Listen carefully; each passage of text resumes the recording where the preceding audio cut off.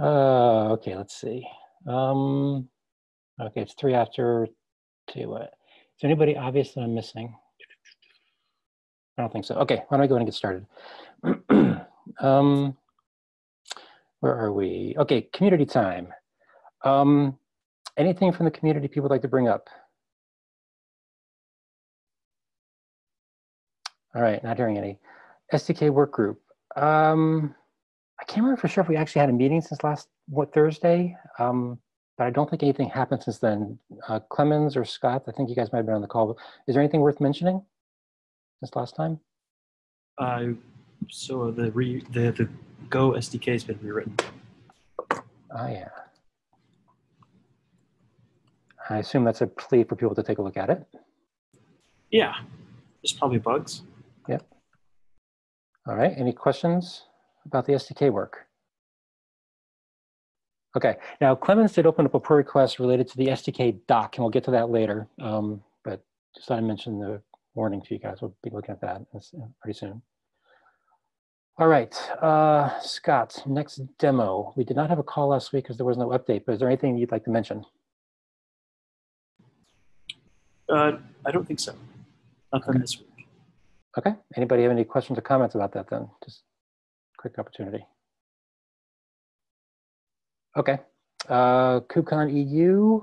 Um, I think we may have had a planning session since last time. I don't think there's anything radically different. The notes are actually in this doc if you guys want to take a look at what we're doing in terms of how things are shaping up. Uh, just a quick refresher. I can't remember for sure if we mentioned this last time, but we will have uh, a cloud events intro and a cloud events deep dive.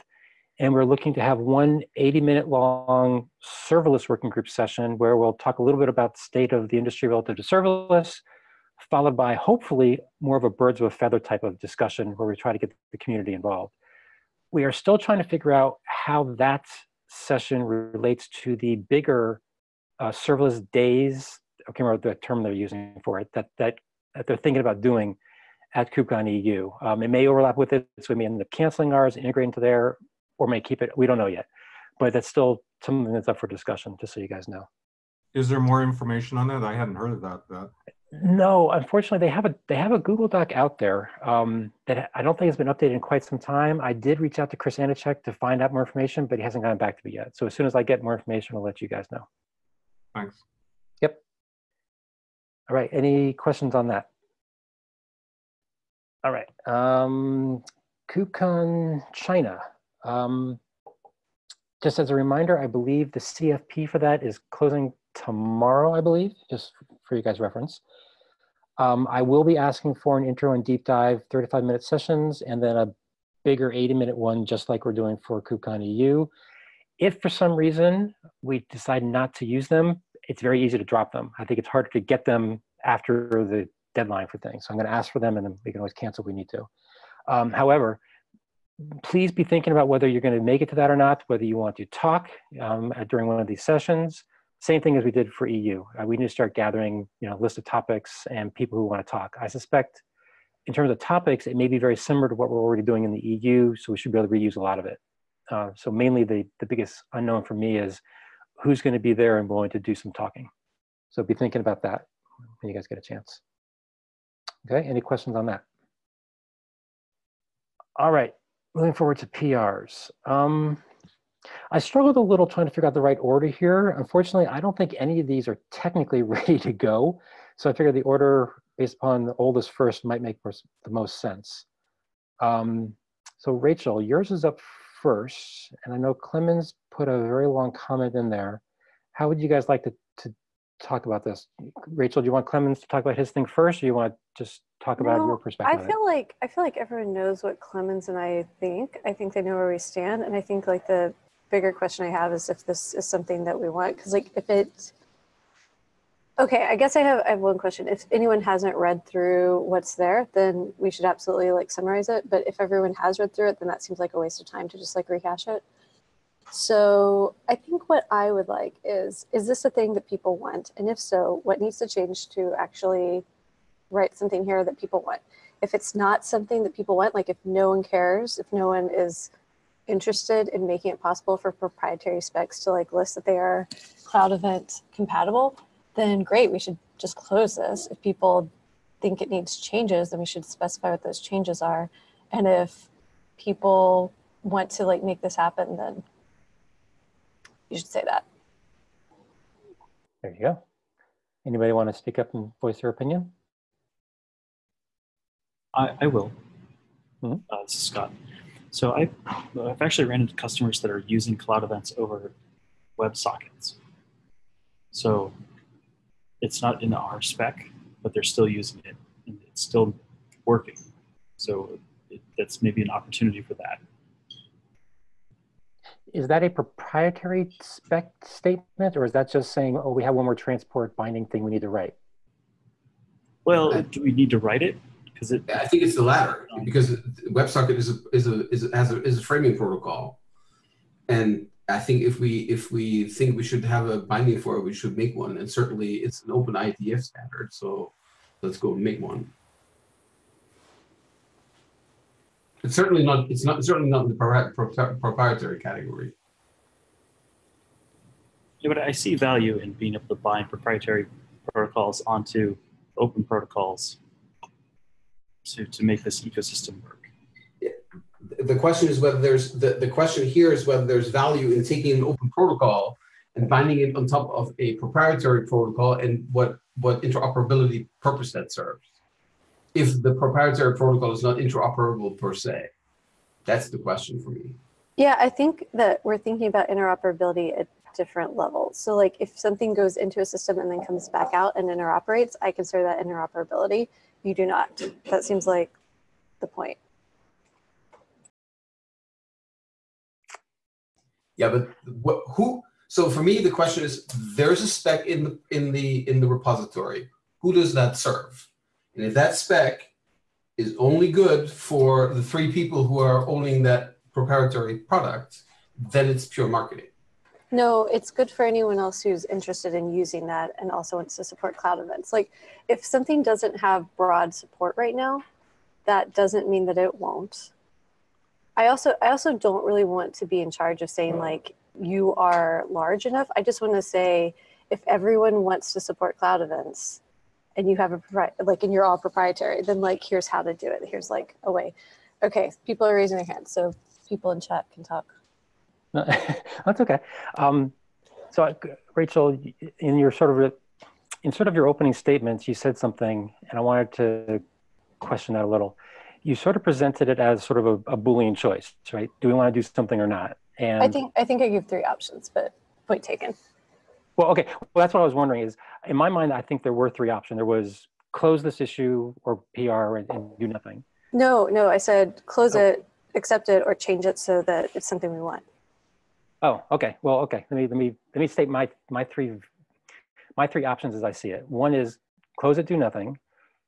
Two is uh, have a list in our repo someplace of known uh, bindings that we just don't keep in our repo, and that would include the proprietary ones. And then the third option is what you're proposing, which is allow proprietary ones to actually live in our repo. And I wanted to know whether those are the three options or whether there's more choices we need to consider. I feel like there are infinite number of possibilities. It's of what we want.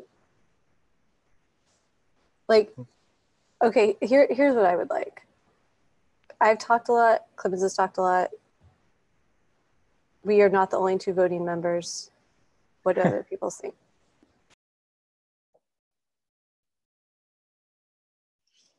Anybody want to raise their hand and speak? Eric here.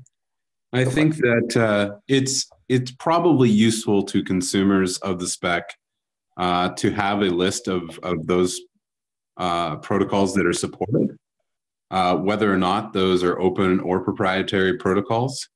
Uh, it seems like we would be taking on a fair bit of friction and overhead if those protocols and their mappings were placed into uh, this repo.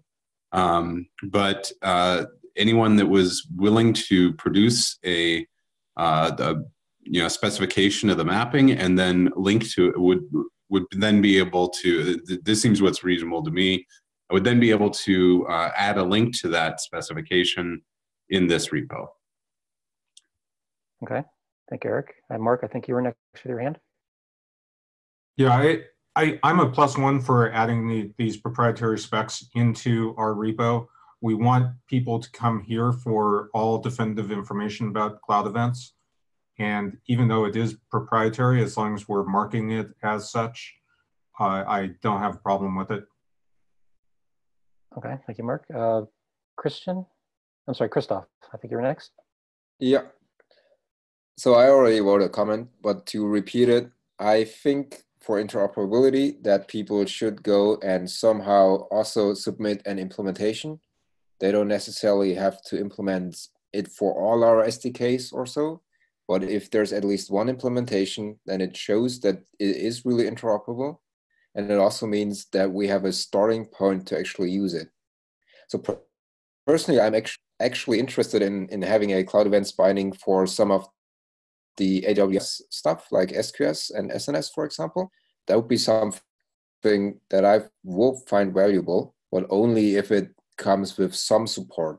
Otherwise, it is a little bit pointless, in my opinion.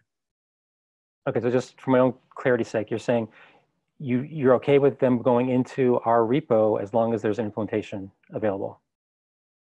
Yeah, because then I would also assume, or not necessarily, but it could be that SDKs decide to support it as well. And that would then also live in our uh, repos. Well, not in the spec repo, but in the, the SDK repos. Okay, thank you. Uh, William, I think you're next. Yeah, just to validate some things here. So when we say live in our repo, are we thinking the implementation, the the spec? What what exactly will be living in the cloud events repo? I believe it's the specification.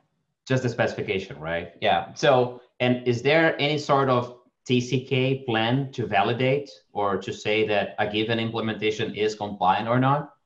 So that's, that differs. So uh, in my original proposal, no, but Christoph would like to see that. So that's up for grabs.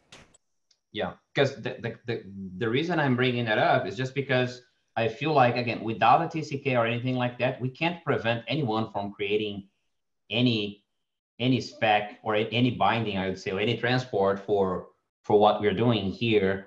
The decision then is just like where we want to host it, right? And if we're calling it like a supported or whatever, certified or approved, blessed by the group here, and if it's a proprietary one, like I think based on what I've heard from others here, and I think I would agree. Like again, you can implement that, and that's not coming out of the the working group. So we are not endorsing it, but we recognize that sure you are uh, implementing this spec, and click on this link, go there, figure out how that spec actually makes sure that they are compliant with with cloud events. But we are not making that. We're not guaranteeing that, right? It's a yet another spec out there that someone implemented based on what we produced here. And we just can't prevent that, right? It's open source software. They can read the spec, just like happened with WebSockets here, for example. Someone went there and implemented and started using it. Like others will do that. And the fact that we can list it here, I think it's a good thing for awareness and adoption. Uh, but I don't think then those would leave inside the repo, right? It would just be a link. Okay, so you're, you're advocating just a link and not the spec itself, right? Right. At least if again, if it's not implemented or endorsed by the group, that's kind of how I would list them. Okay. Anybody else, excuse me, anybody else want to raise their hand?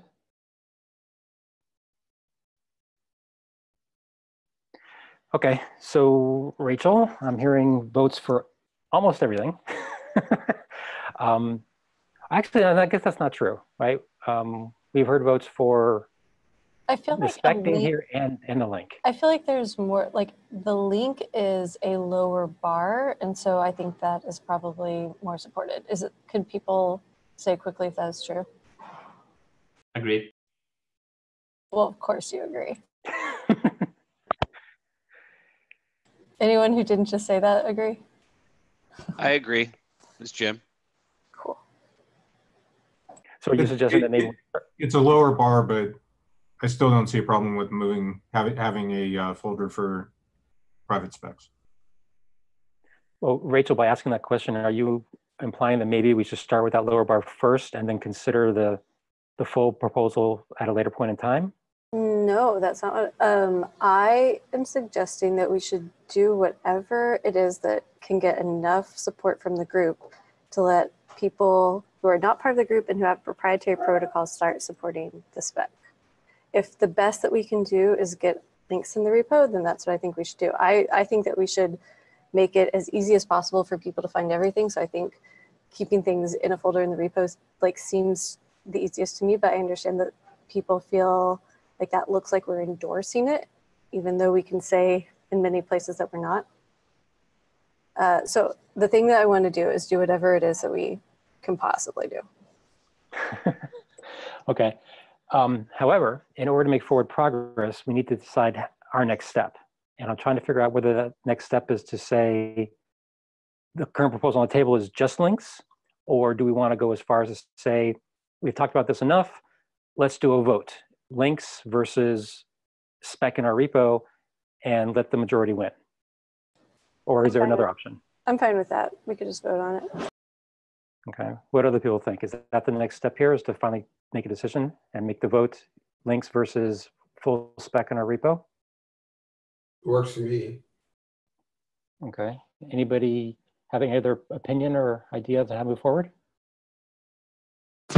I have a question. How is this gonna affect maintenance? Like, could the a spec that's hosted in another repo diverge somehow, or be very out of date and still prove compliance? It uh, seems like it would be easier to maintain a higher level of conformity, I guess, if they were all in uh, the same repo.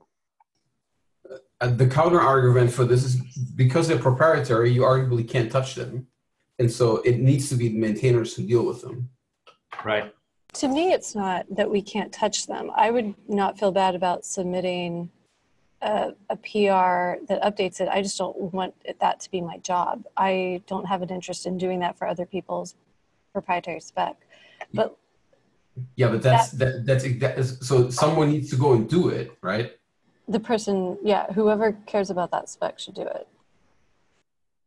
Yeah, so may- r- r- just raising my hand here, that, that's actually, the maintenance aspect of this is probably the part that I think about the most, which is if their spec is in our repo, whose job is it now to maintain it going forward? Because it's very easy for us to say, oh, it's their job, In the right? in the original proposal, it says it's up to the, whoever proposes it will need to make sure that it stays up to date with the current version of the spec. And it also says that if it becomes too divergent, then we reserve the right to delete it. Okay, I forgot about that piece. Okay, yeah, because I, I I don't want us to be on the hook to update someone else's spec continually, and if they don't, if they're not responsive to issues that get opened up against our repo, then that out you gave us of saying, okay, they're not responding, we're going to kill off their their spec. That's fine. Okay, thank you.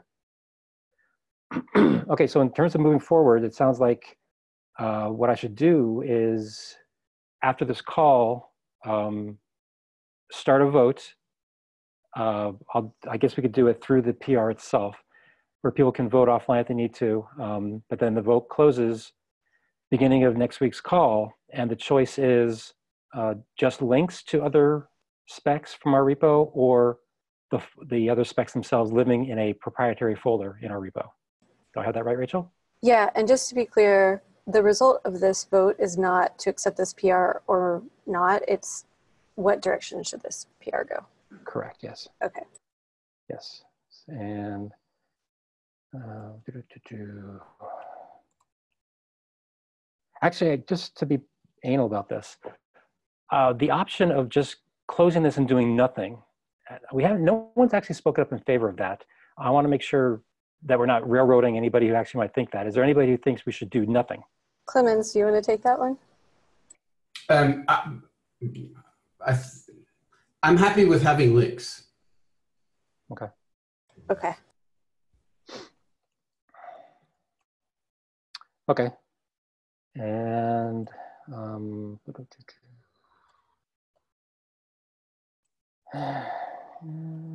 closes start of next week's call. Is that right? Do we wanna put the um, TCK issue into it, or is that something that's basically off the table? I mean, it, it probably doesn't make sense for the links in the repo, and it's just the way it is. But I think for option two, it would still be, I'd say, a valid option. Let me ask you this.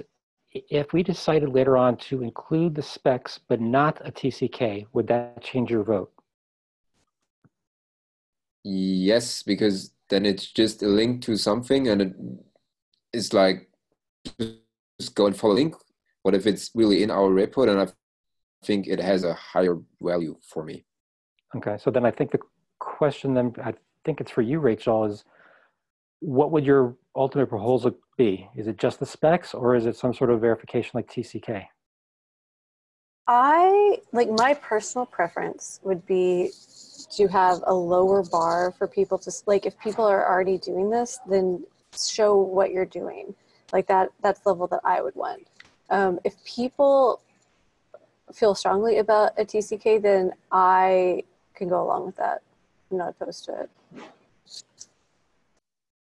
What other people think?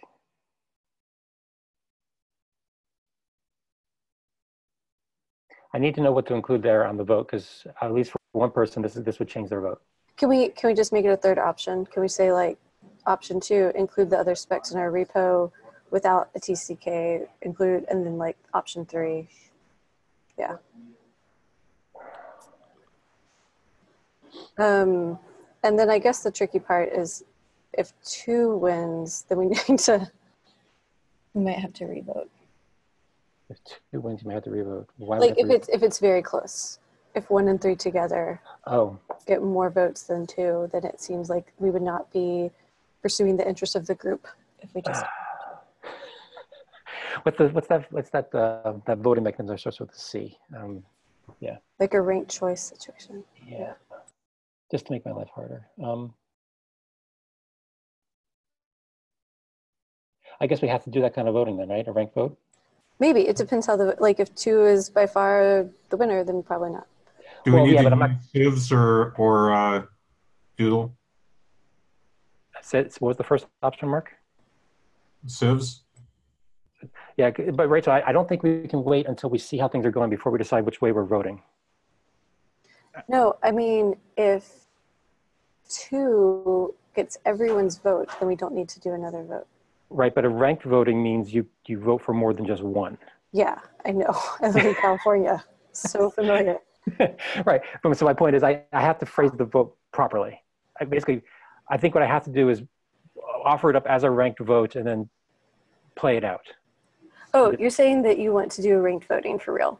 Okay. Well, I, I have I have to. Like, yeah, 'cause I can't just say pick pick your pick your one favorite. Otherwise, you're going to be voting more than one time. Yeah. So we could either vote multiple times or we could have ranked votes. Okay, I'll just do a ranked vote. Okay. Any objection with heading this direction? All right. Thank you, guys. Hopefully by next week we should be good to go.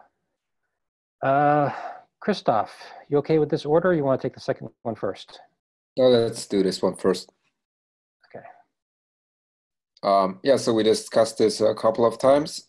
The goal is that we have a um, minimum supported event size so that as a producer, I know I can set, fire off an event and that basically everyone who follows after me um, will accept it. Most likely, we uh, change that to a should so people can still opt out if they have to. Um, yeah, then we di- discussed it a couple of times. Um, I think one of the, well, Clemens made a comment in the last week that is basically what happened, and I responded to it. Right. Otherwise, Clemens, you want the text hasn't changed. so Clemens, you want to talk about your concern with the proposal? Um, yeah, I think the um, so I'm agreeing with that limit with the size limit generally, but I think it's uh, the the whole normalization via JSON is something I find a little odd because you know you send the event and the event has 64k and the publisher puts it on the wire in a certain format um, with a certain uh, payload and it either fits or it doesn't. And and ultimately, if there's an intermediary, the intermediary chooses to ch- chooses a different um, uh, encoding. uh, it's up to the intermediary to make sure that that um, uh, that fits. And if it doesn't fit, um, then it needs to go and report that out in some way. But the, if you, if, this feels like this feels like we're doing this in JSON and 64K, and it's kind of the median of all. Like you literally need to write code now that needs to that measures in some way and weighs the uh, the um, uh, the event in JSON, even even though you don't even care about JSON. Um, if there was a specification now for CBOR and you the only thing you would do is CBOR and then re-encode into AMQP, you kind of would have to weigh the the the event in, in JSON to make sure you're conformant with uh, this section. So I find this whole this whole reference to JSON and this the, the you know the, trying to be trying to you know give a relative normative size of the event in JSON um, just too complicated. It's like you put for me it's like you put the event on the wire it has a certain size it can't be more than it shouldn't be more than 64k go Right. Um, oh, Christoph, do you want to say something? Yeah. so I think there's two points. I think the point that you make that it is rather complicated to go over JSON, even if you don't use it, I agree. That is um, a weak point of this proposal. Uh, before we discuss a little bit other options, I can still redo the discussion. Like another option would be to say, okay, the um, the cloud event uh, can have up to 50, or okay, first, maybe the first thing is it's only a minimum supported event size. So there's a guarantee that you have to accept it. But if you just don't care, you can always send higher stuff and then just hope that it is being accepted by everyone who comes after you. You only really have to do it, especially as an intermediary, if you want to be sure that it will pass on. Um, and the same as a producer. So I think if the producer does this once and then basically everyone else along the line doesn't have to do it anymore. But um, back to the point that I was trying to make uh, about uh, that JSON is too complicated, another option would be to say we define the limits in a different way, saying like maybe you to support at least uh, 50 attributes. Every attribute can be up to a kilobyte in size measured in uh, some way. And then the data or payload can be up to that size. So that would kind of make the definition on the, uh, I would say this, on the abstract model of the cloud event and not on something that's serialized. That is also, that also something one has to write code to verify, or maybe it isn't so specific. I picked JSON here because uh, basically JSON uh, support is for that's the reason why I picked JSON. But we can still go and try to do something else. That's my first point. And the second point is it's not necessary that everybody has to do it. You only have to do it if you want to make sure that this will be this uh, message will be passed on along the way by everyone. Otherwise, you don't have to. Okay. Right. Anybody want to voice an opinion?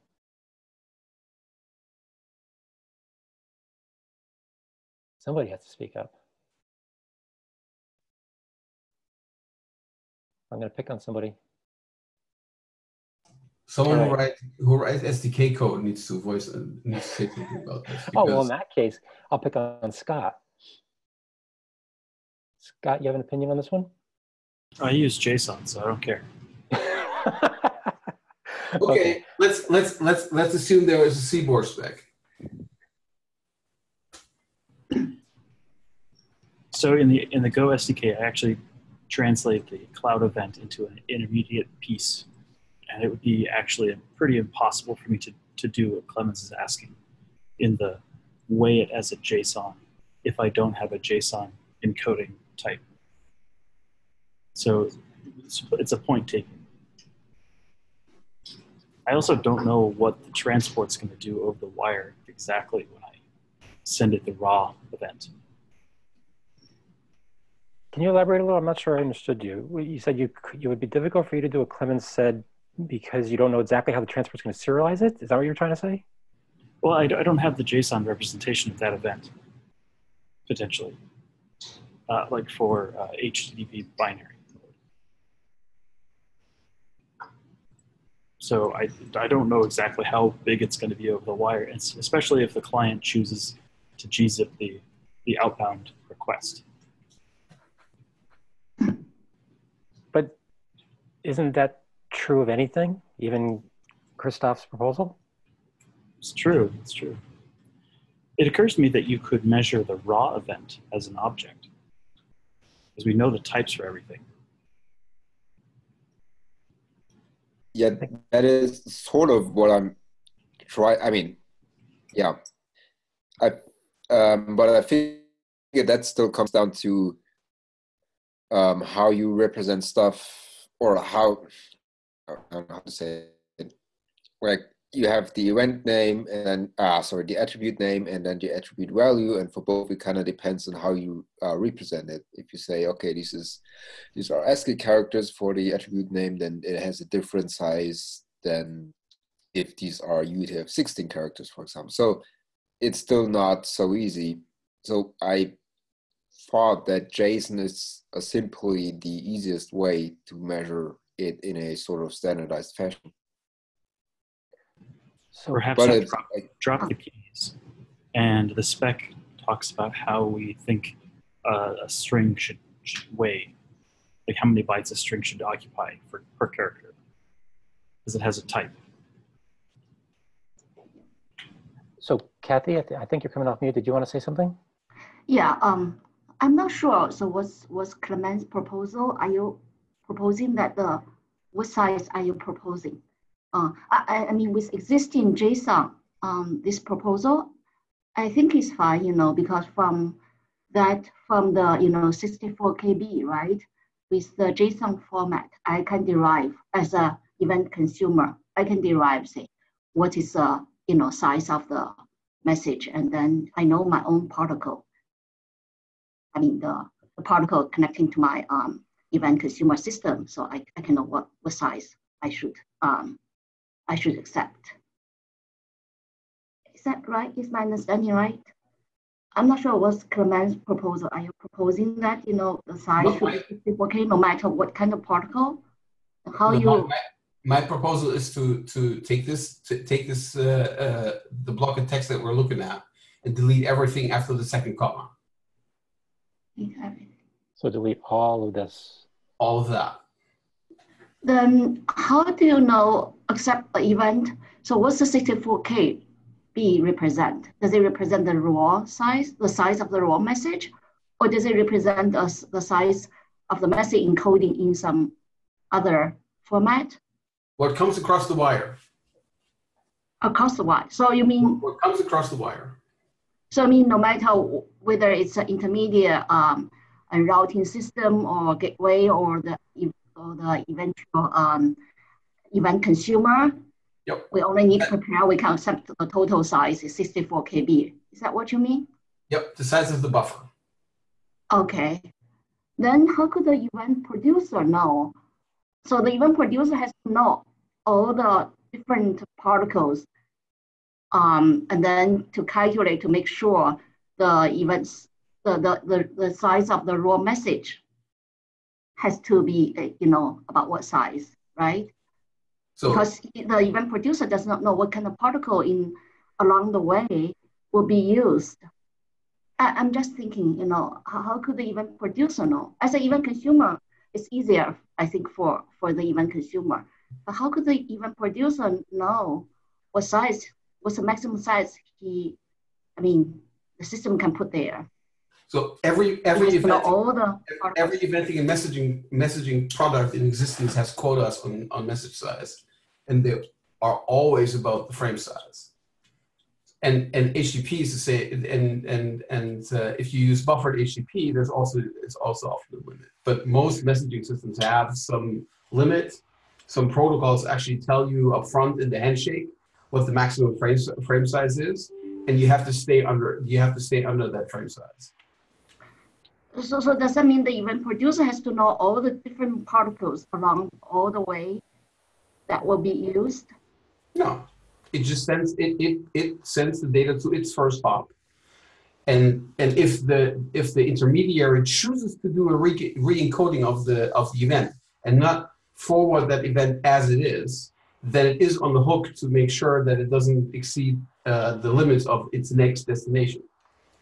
Because it, ultimately the routing is all hop to hop to hop to hop, where it gets configured. And if you if an intermediary chooses to do a re-encoding, it's on the hook to make sure that that re-encoding actually works. Oh, okay. So you're so the burden is on the intermediate, um, I mean router or whatever, um, Yeah. to make sure. But the thing is, sometimes you know if the change the um, protocol, right? You know, unless it does something other trick or like doing compression or so, sometimes it just become larger, right? Then that means it cannot accept this. And the, if it make it larger, then the eventual even consumer cannot cannot handle it. Yeah, that would be that would be very unfortunate, but that's just the way it is. If you if you choosing if you're choosing to change from a protocol, you take a you start with a compact protocol like MQTT, and you're choosing a more uh, uh, um, a protocol that has more bits on wire like HTTP. Yes, your message is going to grow, and that's something that someone who's building the integration for this will have to go and live with and deal with. Is that they have a pro, they go from a protocol which has seven bytes overhead per packet to a, a, a protocol which has probably you know what 2k Okay. Okay, now I understand your point. Okay, I see. Yeah, I, I think I, I would like, I think I like the JSON one. I think it's that's that's more clear. Everyone knows what size, you know, no matter which component along the way knows what size it needs to handle. Okay. Uh, Mark, you want to verbalize what you put into the chat? Yeah, sure. I, I just think that we should be encouraging people to send as small payload as possible because it's more efficient and just send the pointer to actual data if they, they really need it. You know, we, we need to set, set the right tone as to what we think an event should be that doesn't contain a ton of data in it.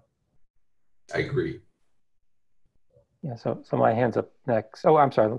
I want to speak last. Uh, Vladimir? You, you Uh, want to speak? yes, um, I feel this is a really important point because it it really changes the perception and attitude of developers who use mechanisms like this. Uh, you know, often in organizations, when you come up with uh, something that, that looks like file transfer, people will start moving large files. So I had a recently a situation like this where it was intended as event and somebody was thinking passing five gigabyte file through this. um, so having, having the sentiment event should be small, uh, the infrastructure for processing should be small, lean, and fast is, is uh, something that I feel we should promote. Thank you.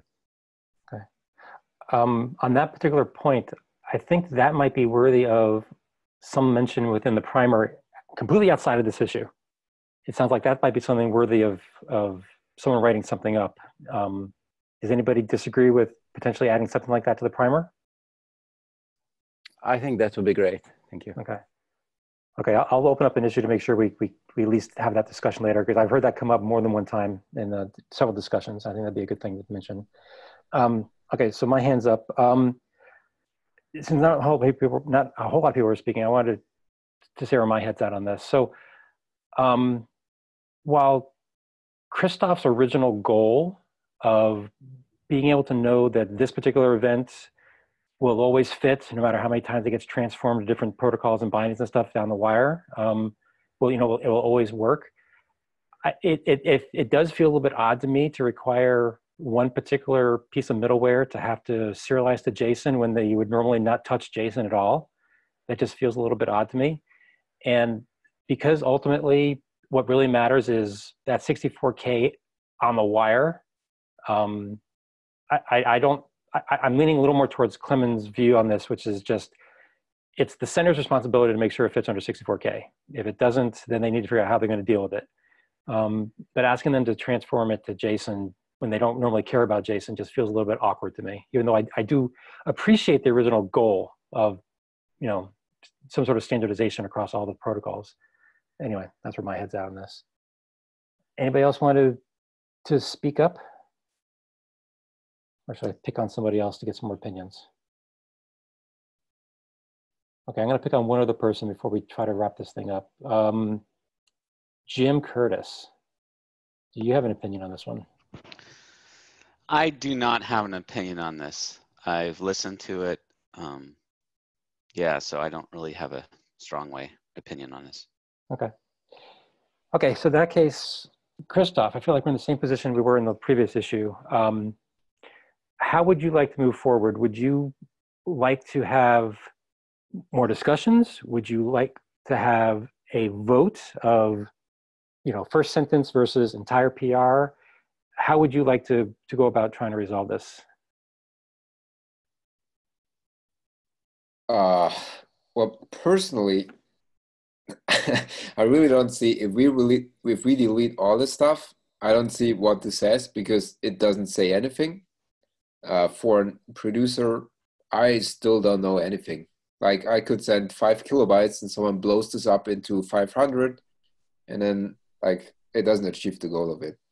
Um, so I mean, as I said, I'm not 100% happy with the JSON either. I I understand what the criticism is. Maybe I'll think a little and make a second proposal and how else we can measure the cloud event in such a way that you don't have to go through JSON. Okay. Well, just let you know, this, since this is your PR, you get to decide what people are voting yes or no on. And so it's completely up to you.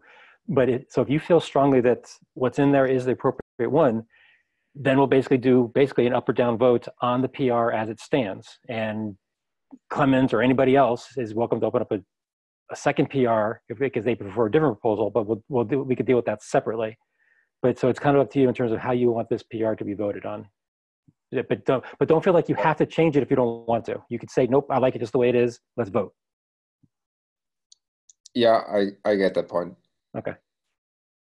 Okay, so, um, okay, so you, but you said you wanted to, to think about it a little bit more. So maybe next week's call, well, we won't go into a broad discussion. You just let us know how you want us to move forward. And if you have a different proposal, obviously we can talk about that. But if nothing changes, then you let us know how you want to move forward on this. Is that fair? Yeah, sounds good. Okay, cool. Thank you guys very much. Uh, is there anybody else who wants to bring up anything related to this before we move forward? okay, I'll take some notes on that in a sec. Um, Christoph, another one of yours.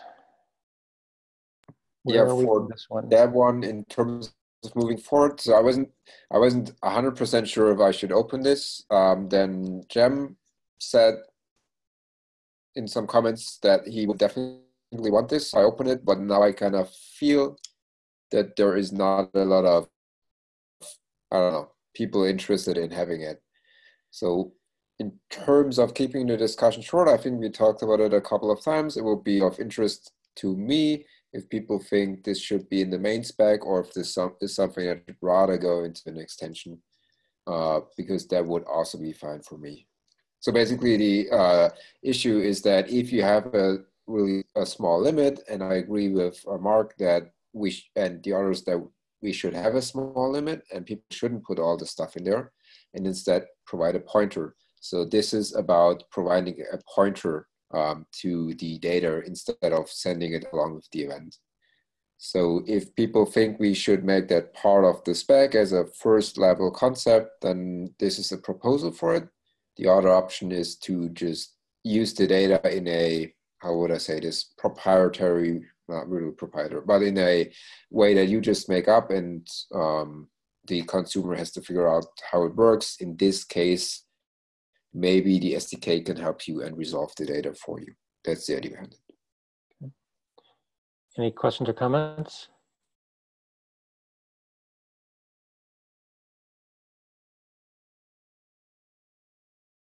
No one wants to speak up? Do I need to pick on somebody? Oh, All right, I'll, I'll speak up. Okay. I, I, I do worry about this one. I, you know, I said, you know, we need some way to have a pointer to the data, but I always expected that to be inside the event itself and not in the cloud events header.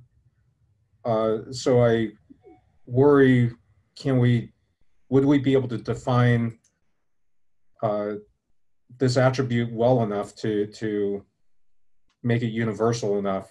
Or does, is there more context that's needed that needs, that it needs to be in the uh, event payload that I don't know. I, I'm having a harder time with this one. Okay. Anybody else want to raise their hand?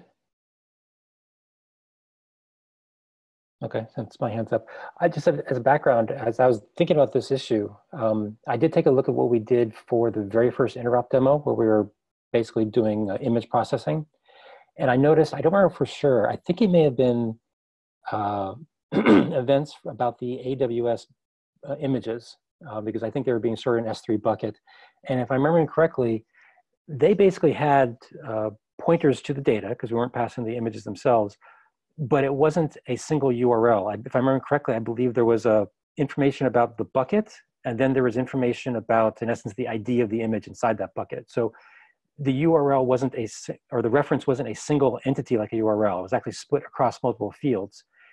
And the, and the thing that ran through my mind was, hey, that's exactly what we're doing here, sort of. Uh, so would we then force someone to have to construct a URL when they already have the information in there?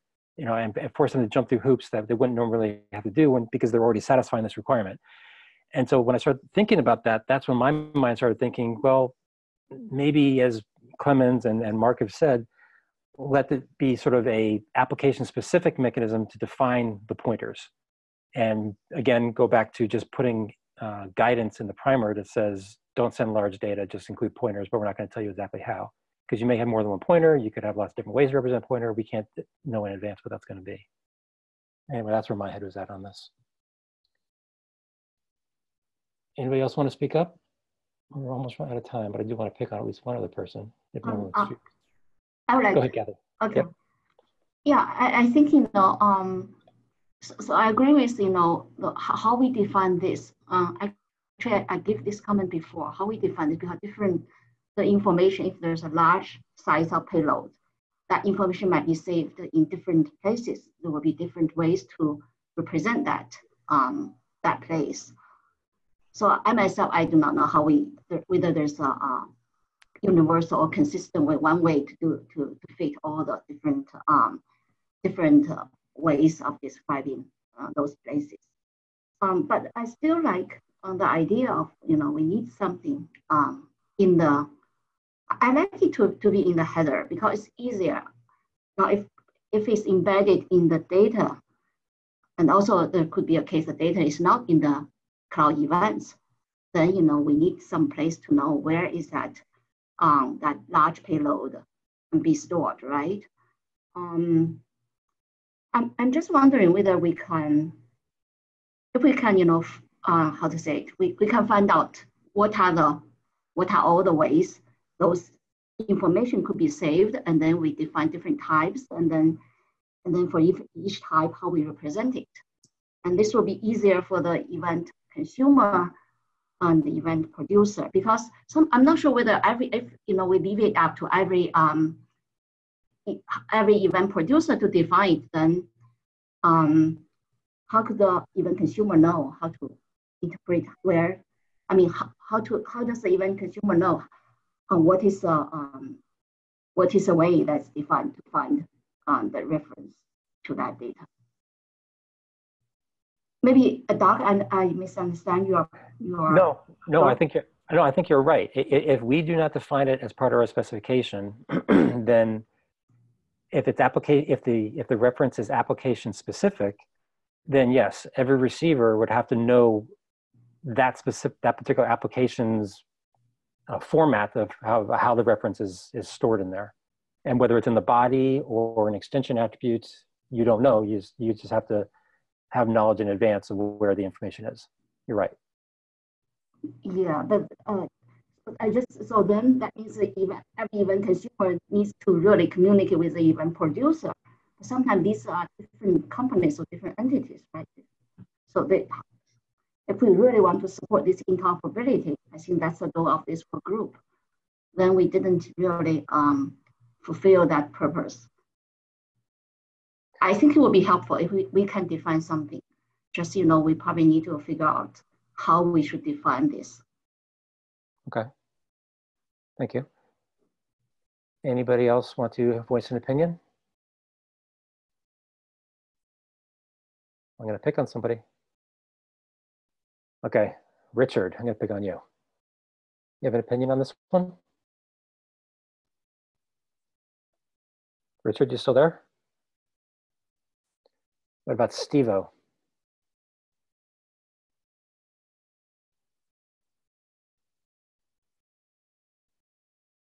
Stevo, I see you came off mute. I can't hear you.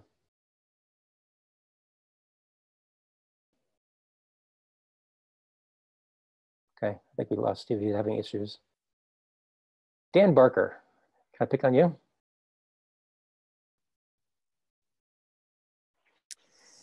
Um, yeah, I, I uh, kind of agree with Kathy on that um, last point.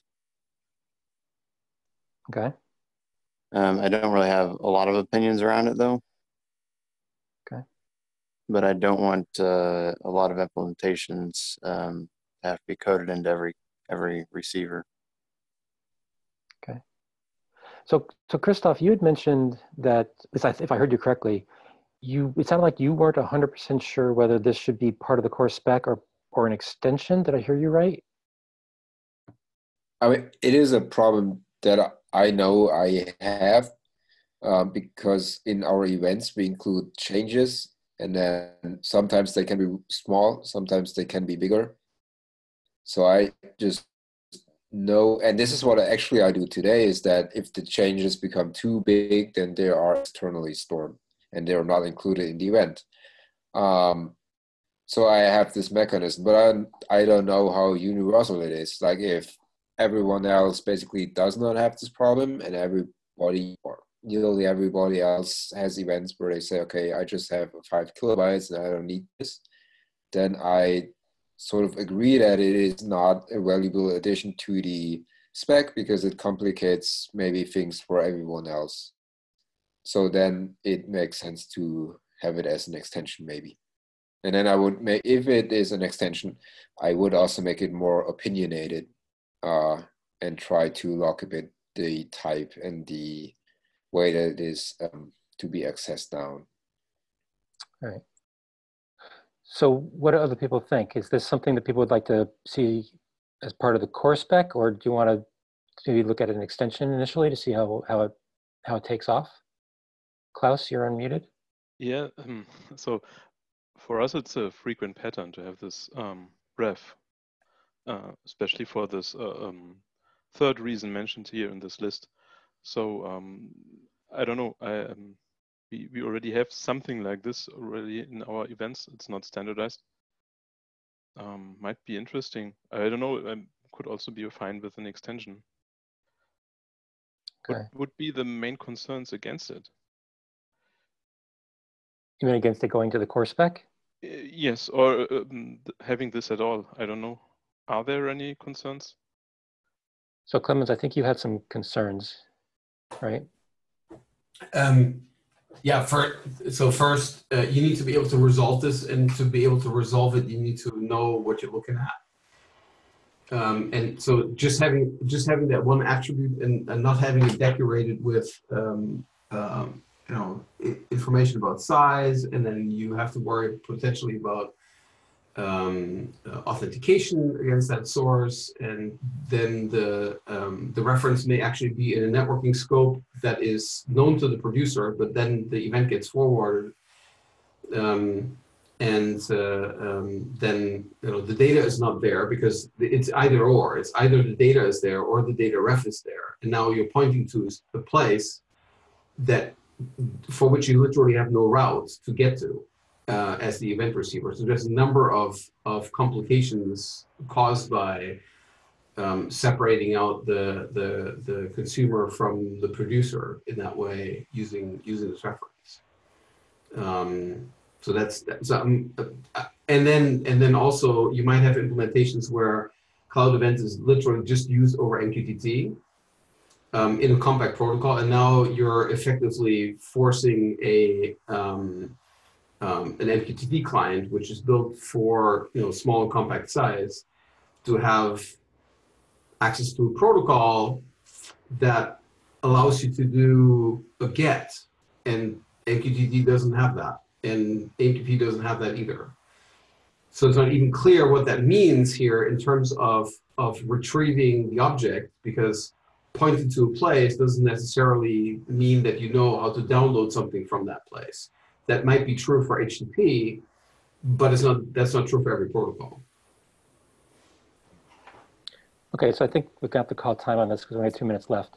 Um, Christoph, how would you like to move forward on this? Did you want to think some more about it? Did you want to just say, nope, take it as is and vote yes or no? How would you like to proceed on this?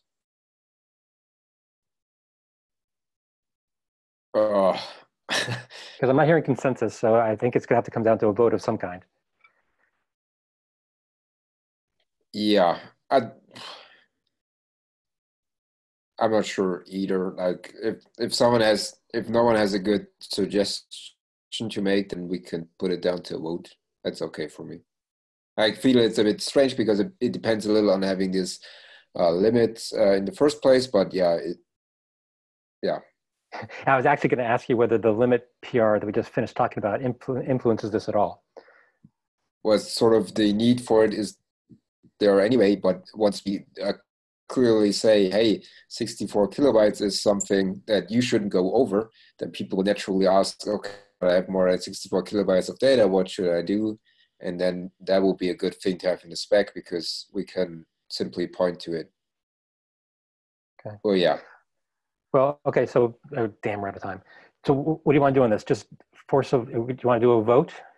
I can kick one off starting now, or do you want to think about it more and then potentially kick off a vote next week? It's up to you. Let's do it next week. Okay. Okay. Um, in that case, I'll, I'll send out a note warning people about this. And let's just do the quick roll call. Um, Doug, I saw you in chat. Fabio, you there? Fabio? What about Klaus? Okay, Klaus, I got you. Uh, what about David Lyle? Yes, I'm here. Okay. Uh, Tapini? Yeah, I'm here. Okay. Uh, Dan Barker, I got you. I think I already got you. Roger. Anyway. Um, who else? I'm Fabio, here. did- Um, Oh, Kathy. Yep, I got you, Kathy. Yes, thank you. Okay, anybody else I missed from the attendance? Fabio, are you there? Okay, in that case, thank you guys very much, and I apologize for running over. So look for some potential votes starting next week. I'll warn people through uh, email. All right. Thank you, guys. Bye, everybody. Thank you. Thanks all. Bye. Bye. Bye. Bye.